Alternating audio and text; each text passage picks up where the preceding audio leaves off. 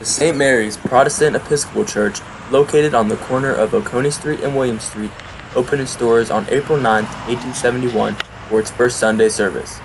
Since then, the church has become a symbol of both historic Athens and the famous music scene that has developed here.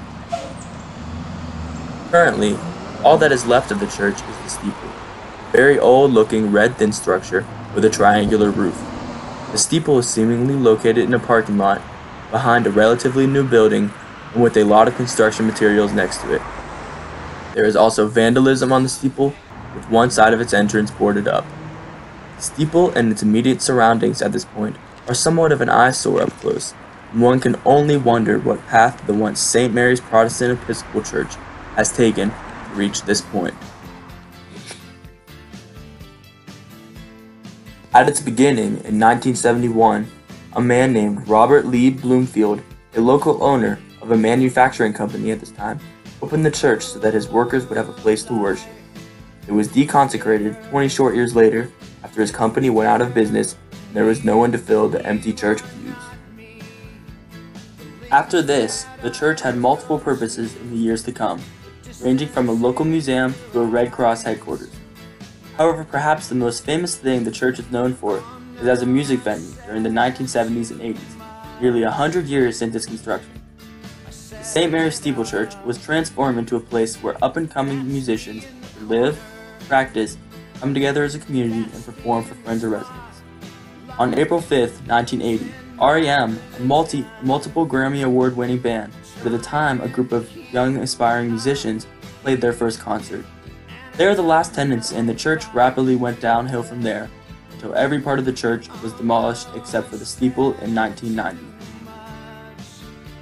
Today, the steeple contrasts greatly with its surrounding area. In its position on the corner of Oconee and Williams, stands out to those who notice the building and elicits a sense of curiosity. However, many of those driving by this intersection fail to notice the steeple due to the great amount of gentrification and renovation that has occurred around it. Apartment complexes, chain restaurants, and large parking lots consume the area and Athens as a whole. If you were to drive through the town today, this would be a lot of what you would see. This gentrification is the result of a desire to generate revenue amongst university students and tourists willing to pay a lot of money for amenities. It is also a result of a fear associated with the perception that older communities with dated buildings and less affluent residents are not as safe. The gentrification occurring in Athens overshadows the historic aspect and sense of community among native Athens residents. People who are, in, who are native in a college town, particularly older res- residents, in a way lose their identity when gentrification occurs. This creates a division within communities.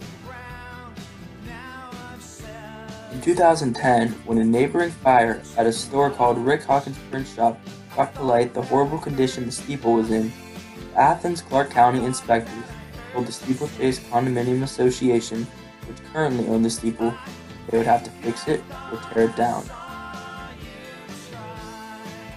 For the people of Athens who know about the steeple, it carries significance in some type of way for them. Whether this be the musical or historical significance it had, many people did not want the steeple to be torn down. One of these people is Bob Sleppy, the executive director of the business located in front of the Steeple Church today, Nuçi Space.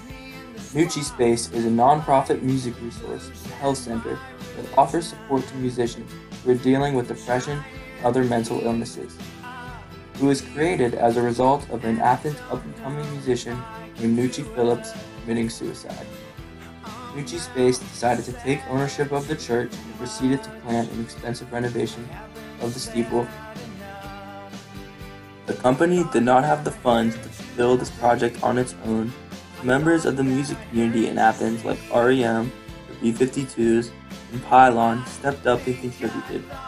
Nuçi Space, in doing this, preserved the history and musical legacy of this place that was at risk of being hidden away forever.